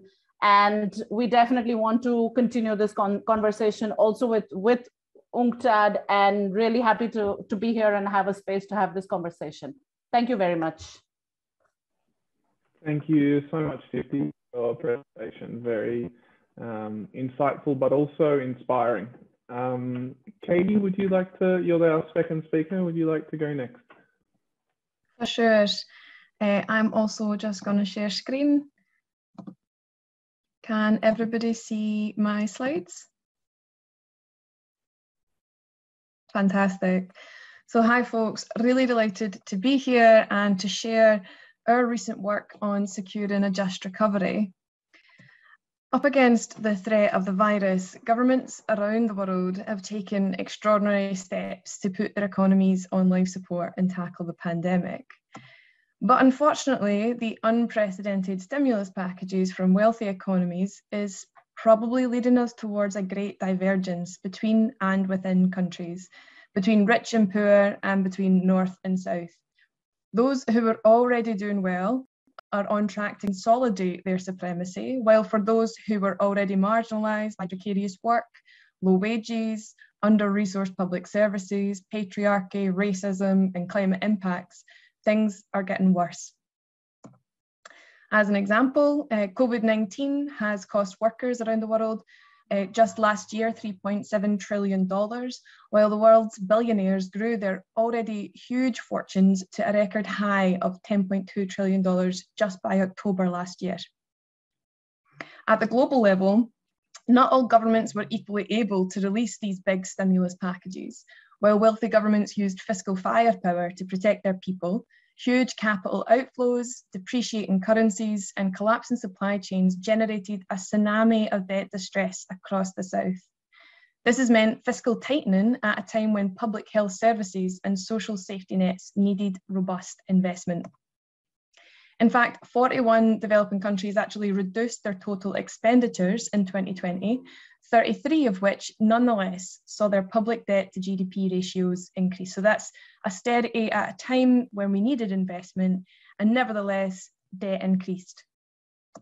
At current rates, developing countries will be $12 trillion poorer by 2025 than they would have been without the pandemic. And that's a figure that comes from a report that UNCTAD published two weeks ago, the Trade and Development Report. Furthermore, recovery efforts so far have not been effectively mobilised to bake in the green industrial transformation that will be necessary. No strings attached support has meant that the opportunity to glean a green transition from this crisis has been lost. It goes without saying that one and a half years on from the pandemic start, we are still nowhere near where we need to be to end the pandemic and secure a just recovery. Global vaccine apartheid is leading us towards a perpetual cycle of mutation and reinfection. Economic instability and a lack of fiscal space promises another lost decade for many countries in the South. The unfolding of climate breakdown is accelerating with a summer of deadly disasters across regions and the new IPCC report showing the disastrous gap between rhetoric and reality to keep warming below 1.5 degrees. There's no greater priority than for humanity to tackle these challenges together, yet while some regions are beginning to get back to normal, a cycle of outbreak and instability is promised in the south. And it's widely known that this normal did not bring security and prosperity for the majority of people, even in wealthy regions. Getting back to normal is not the route to a just recovery. The pandemic surfaced critical weaknesses and fundamental failures in this hyper-globalized world that metastasizes inequalities and climate destruction, and now must be the opportunity to address them head on.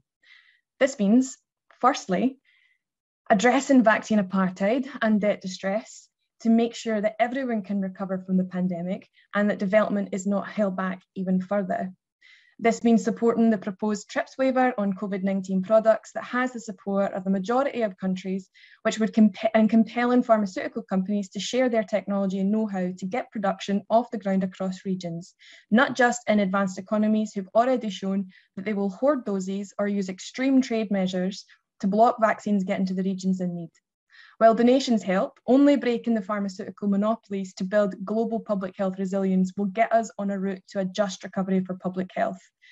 BioNTech, Moderna, and Pfizer are set to make $130 billion combined by the end of 2022, protecting their intellectual property, which was generated with the support of public money, effectively makes sure that profits are put before lives. Debt distress must mean a better uh, workout system than the ad hoc G20 offer of the Common Framework, which has so far not compelled private creditors to participate. Throughout the pandemic, private creditors, including vulture funds, have continued to collect debt repayment. More than 60 countries were spending more on debt servicing than on their health systems before the pandemic even began. But this deadlock will be impossible to get out of while countries face credit downgrades for attempting to secure relief, making access to credit all the harder to achieve. The external debt stocks of developing countries reached $11.3 trillion last year, 250% what it was in 2009. We need a transparent, accountable, and multilateral workout process, and the current crisis will require significant debt cancellation to achieve anywhere near sustainability of public finances. Moving forward, we need a new consensus that reasserts the interests of public priorities over private profits, the prosperity of all over the monopolies of the few. This is not going to come this is not going to be some great reset led by greenwashing corporate giants, but by a reasserted public sector that uses the lessons of the pandemic to invest in a green and just recovery. Um, at the national level, we have proposed seven lessons to build back better in the recent uh, UNCTAD TDR. Um, number one, governments are not households, and that means that we must reject austerity. Number two, central banks are public institutions, and their authority should reflect public policy priorities. Um, number three, resilience is a global public good and can only be delivered through public investment, international support, and policy coordination. Number four, finance is too important to be left to market, so we need strong regulatory oversight. Um, number five, cutting wages is bad for business and worse for society. Six, a healthy economy needs to be diversified and a green industrial policy is needed for countries at all levels. Um, and number seven, a caring society is a resilient society. Care is the foundation of all of our societies and requires significant investment. But as long as vast asymmetries exist between North and South, this policy programme will be, will be withheld for many the pandemic has come at a moment when economic, social, political, and environmental breakdowns demand urgent, ambitious, and coordinated political action across borders. Such action requires new global norms and rules that allow national autonomy while converging broadly together on shared goals. Achieving this new approach requires confronting and contesting those who win out at the current system, the beneficiaries in financialised sectors, monopolies, footloose firms, and their apologists in academic and policy circles. It requires a different prioritisation of growth and distributional goals that can deliver rising living standards for the majority of people in all countries without further damaging already fragile ecosystems across the world. This requires the urgent reform of rules and practices at the multilateral level in trade, investment, and monetary regimes. And these rules are currently skewed in favour of global financial and corporate interests.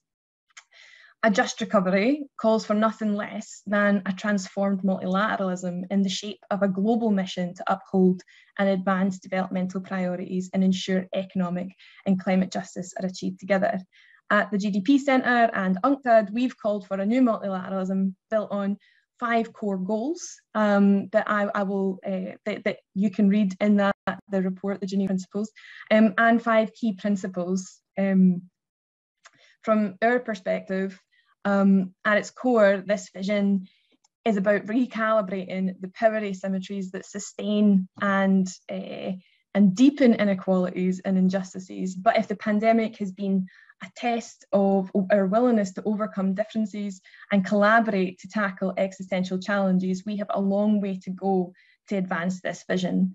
While we are forced to be optimists, the unrelenting advance of climate change means the urgency of reforming the system has become fiercer than ever. So I'll stop there. Thank you so much, Katie. Um, we're going to now have Letty um, who will be speaking in Spanish, um, and we will be doing the translation cap captions afterwards, but it's also good for our, the Spanish speakers who, who are out there as well. So Letty, um, go for it.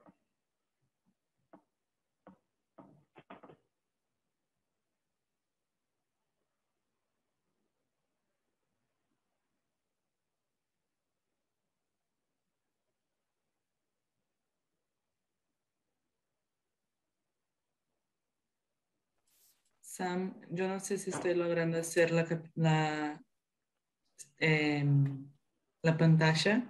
¿Sabes? Hemos, hemos visto antes. ¿Sí? Sí, sí, estaba funcionando antes. Sí, pero ¿por qué no funciona ahora?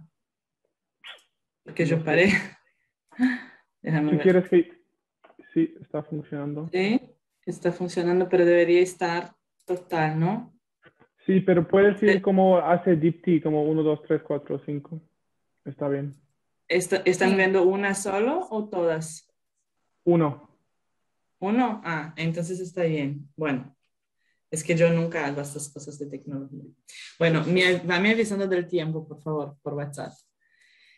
Bien, compas, eh, muy bien estar con ustedes. Eh, bueno, yo hablo español y no me voy a disculpar por eso. Espero que mucha gente me pueda entender.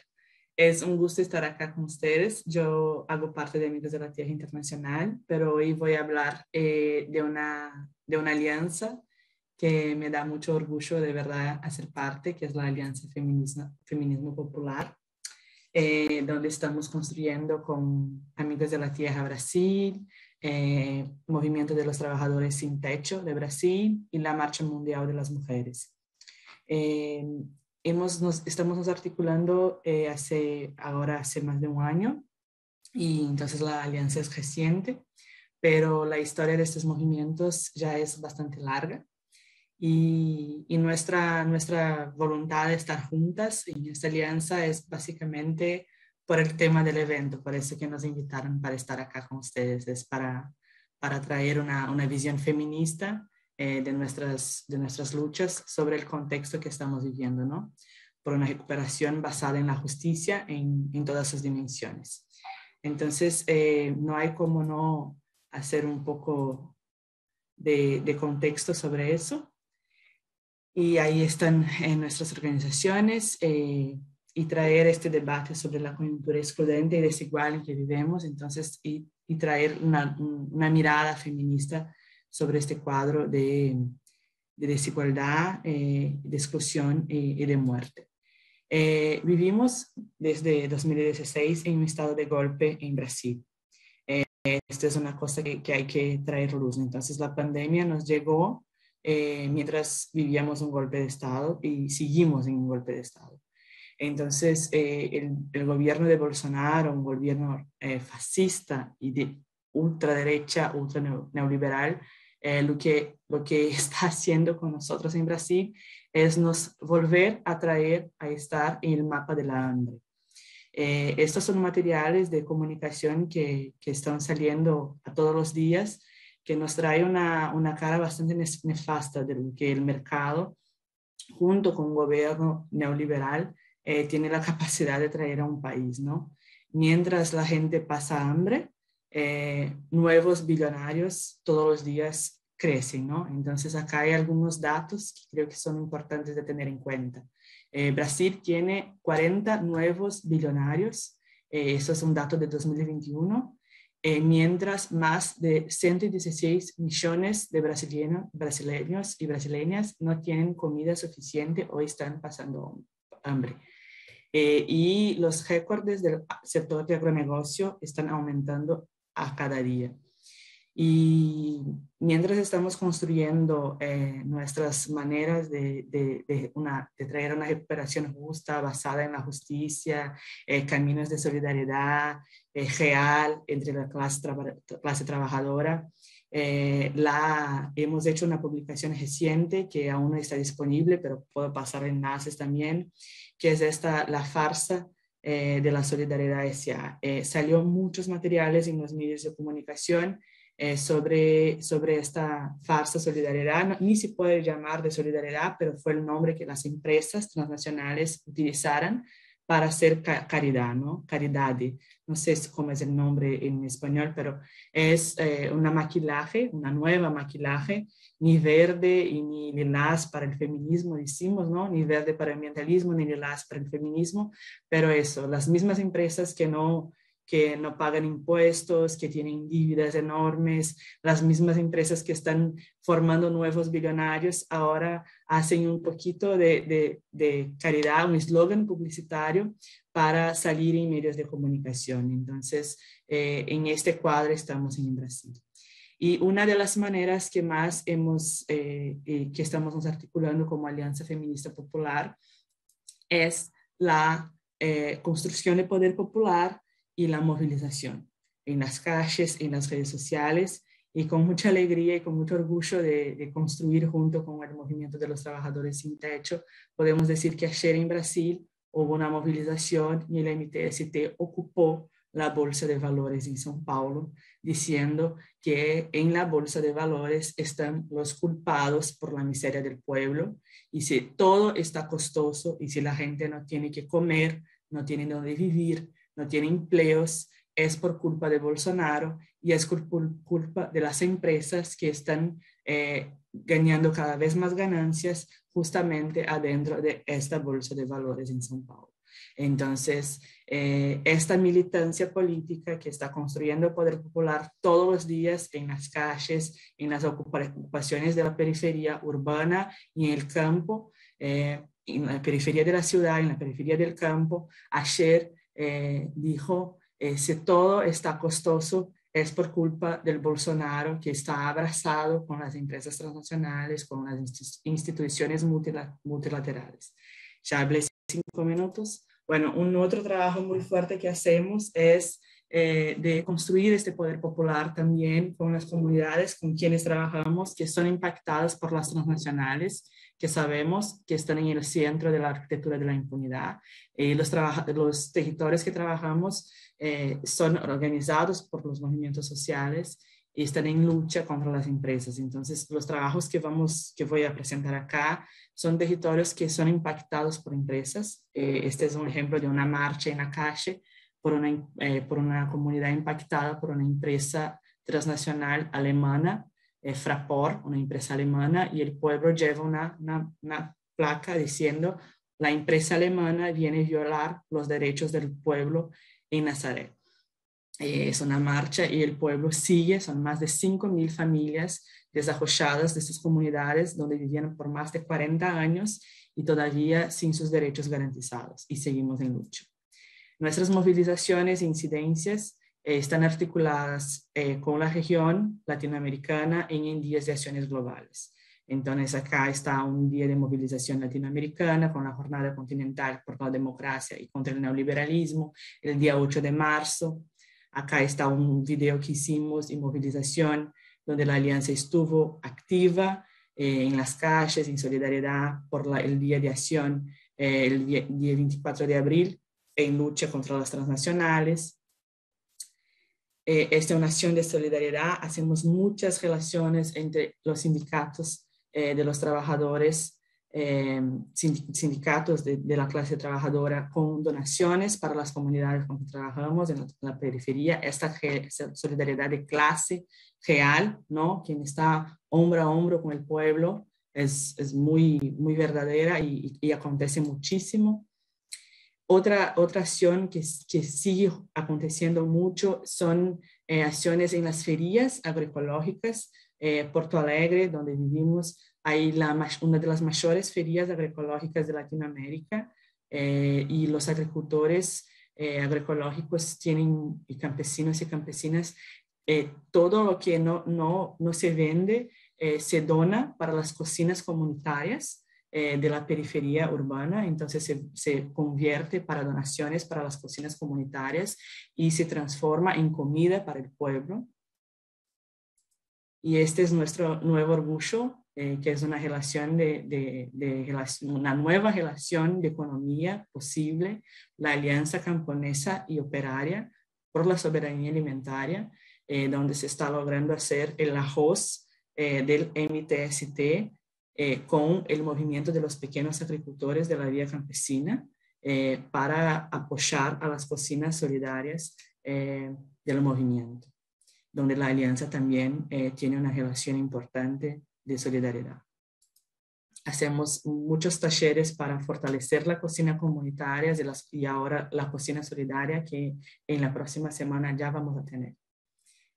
Eh, estamos fortaleciendo la construcción de hortas comunitarias también para que se pueda fortalecer esta relación de pertenecimiento eh, con, con el territorio, los territorios hay más fotos y ya voy a acabar, Sam. Eh, son algunos territorios con quienes trabajamos, donde este tejido social también es posible eh, fortalecer, ¿no?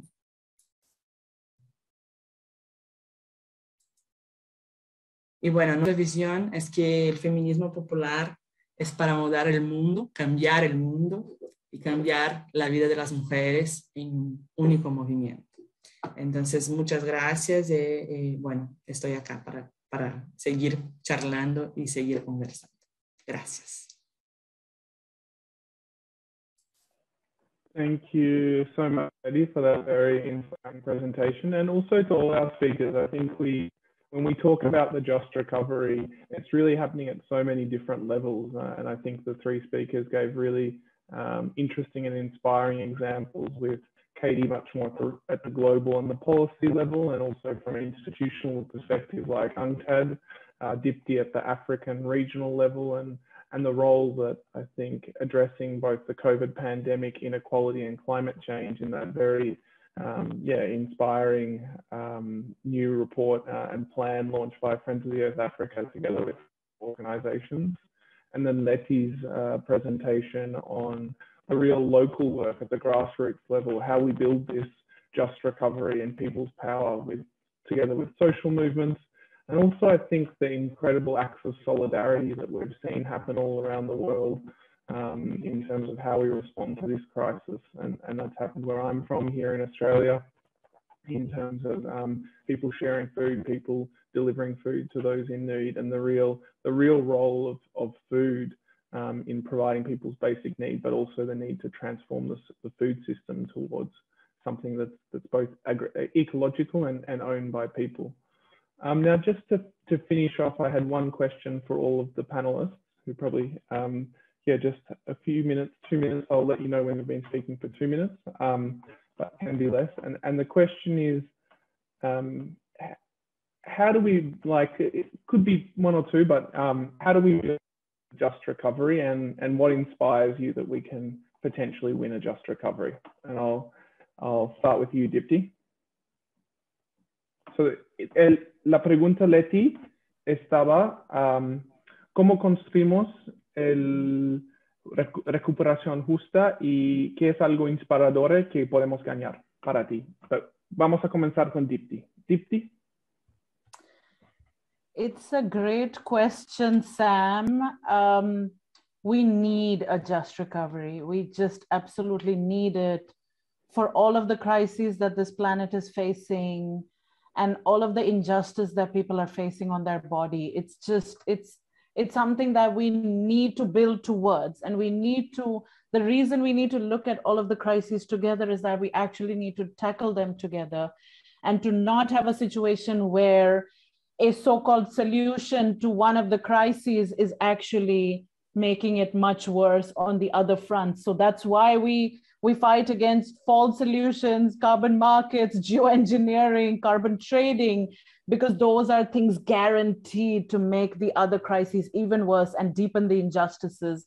So, what is it that makes me think that we can have a just recovery? It's, it's the humanity of all of us. We need to centralize life in, in our systems going forward. And, and when, we, when we relate to each other as as humans, we just cannot allow such injustice and such inequality to continue to be so pervasive. And in Southern Africa, we have a really beautiful Bantu concept, which is Ubuntu, which is I am because we are. And if we have that sense of that value system, that interconnectedness of humanity and centralizing life, and looking at care work you know we haven't mentioned that yet even in in some of the things that Letty was saying. It's so clear.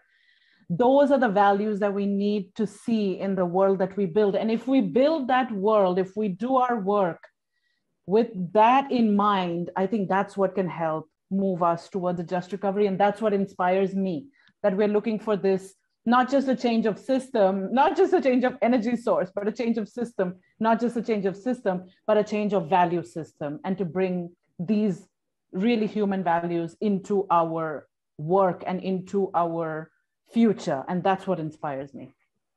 Thanks. Thank you. Thank you so much, Dipti. Katie, if you had any reflections on yeah, how we how we build a just recovery um, and some of the concepts the principles in, in your paragraph, in your paper, or um, things that inspire you that will win? Thanks. Um, I think that's a really hard question. I, I, because it, it forces you to, um, to be honest with yourself about the things that you're not hopeful about too. But I mean, how do we build a just recovery? I think what Dipti was saying about um, recognizing the way that these issues are interlocking um, they are not separate fights, but they are one systemic challenge. And I think that that goes not just across the, the different um, you know, maybe starting points that someone might come into um, working towards a just recovery, whether that's the feminist movement, the climate movement, but you know, seeing these things as together, but also at different levels, at the local level, the national level, and the global level. And I think that you know it remains a great challenge to to you know both unite across and within borders um, because of the existence of borders and the persistence of colonialism and imperialism in the global governance uh, realm, uh, in it, where where you know democracy and and and action has been depleted in favour of you know supporting global finances access into deeper, ever deeper parts of our lives. Um, so, I mean, I think that we build by working together, by re rejecting those divisions, uh, whether that's geographical or, you know, issue based and you know like like that was saying you don't accept trade-offs. You know there are many visions uh, that we could certainly for example with the existential question of climate change there are many potential routes towards a zero carbon future not all of which um, uphold rights and that means you know being uh, you know focusing on the fact that you know endless extraction of, of crucial minerals will not be a just recovery either um, so yeah, no trade-offs either. Um, and what inspires me, um, I think the the the international solidarity work that has been going on around um, vaccine apartheid, I think is, is one of the most crucial questions uh, of just recovery because it it's almost like a like a like a, a a microcosm of the bigger issues. We have these trade rules which prevent um, that which put profits first and prevent and withhold um, global equitable access. And the reason we are uh, in the, the weakened position without resilience that we are is because that these pharmaceutical monopolies have, have prevented the sort of building and manufacturing of vaccines in different parts of the world. And I think that this is like, it brings together the public health, it brings together you know, um, caring care workers and in their different dimensions. It brings together the, the, the asymmetries between north and south, between rich and poor. And it also brings in that economic question of industry and being able to create jobs and be self-sufficient rather than a sort of charity-based focus. It focuses on justice. Um, but I mean, aside from that, when I think about what gives me, what inspires me and gives me hope for just recovery, I would say the activism of young people and those people, you know, facing um, fascism and imperialism in their everyday lives. Um, you know, like Letty was explaining around, you know, the incredible activism in, in against Bolsonaro. Um, and I think that that that has to be uh, where the starting point and the end point. Um, I'll stop there. Thanks, Katie. Uh, Letty? So la, la pregunta fue um, algo inspirador que podemos, o algo que, que se, te inspira para, para que podemos seguir o ganar el, este, esta lucha por la recuperación justa o como, y también como conseguimos este, este poder para ganar o para, para, para continuar. Sí. Eh, bueno, muchas cosas me inspiran. Eh, eh, en, en Amigos de la Tierra Internacional estamos en lucha por un tratado vinculante eh, para, para, acabar con la impunidad de las empresas transnacionales. ¿no? Y en ese espacio internacional eh, lo que más aprendí es que no hay parte donde las empresas transnacionales no están y, que, y donde no están violando derechos. ¿no? Entonces, eh, esta realidad es, es de verdad que es muy dura pero también se aprende que donde ellos están hay resistencia y hay esperanza, ¿no? No se puede perder esto.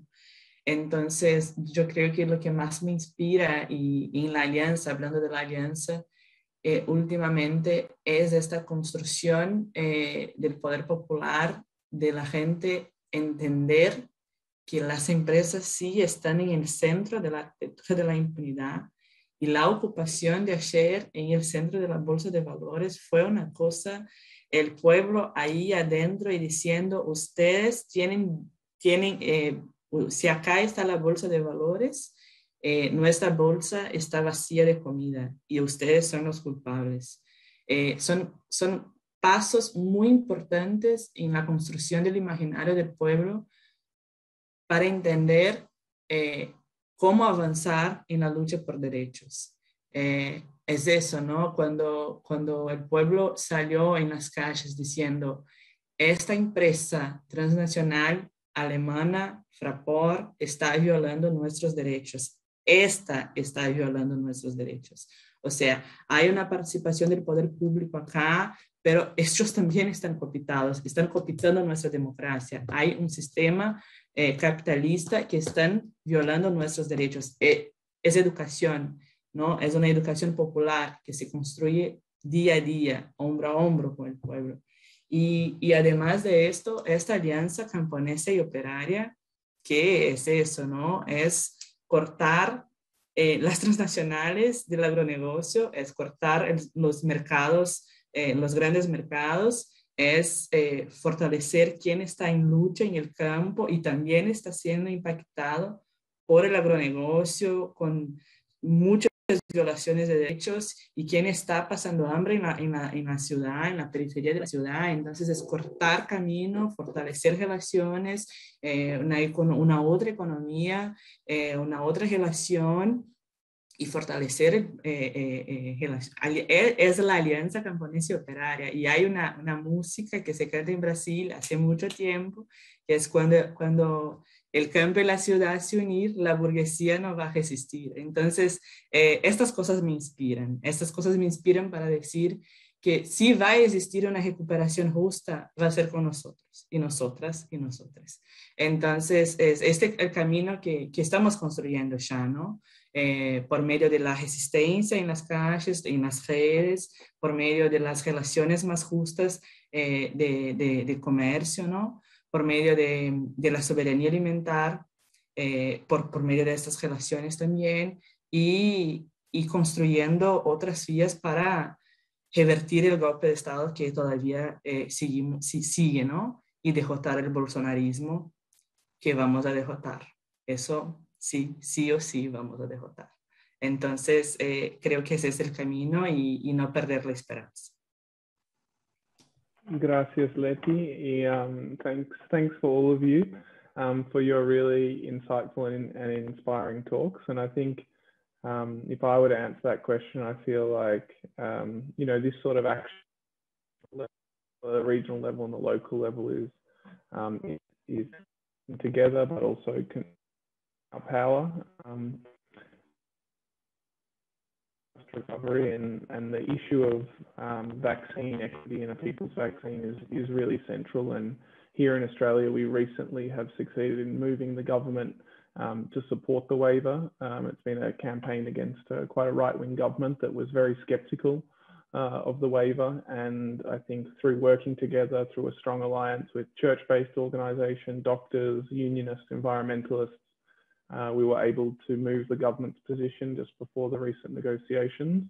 Um, and yeah, I think it's a it's a very inspiring story of what of what people coming together can do, and I'm I'm very hopeful that we can by the end of the year um, have a have a waiver on on the COVID vaccine and really have much more equity in terms of that. I think it's a it's a key pillar. So thank you so much to our speakers, particularly Letty for joining at the at the last minute um, from another Global South who couldn't make it. For your um, time and to everyone watching, and uh, I think we will leave it there. And I think I just, yeah, we will leave it there. Thanks, Sam. Thanks, everybody. I will just leave the meeting. I feel like that's how we stop it. But no, I think we're still live on the stream. So.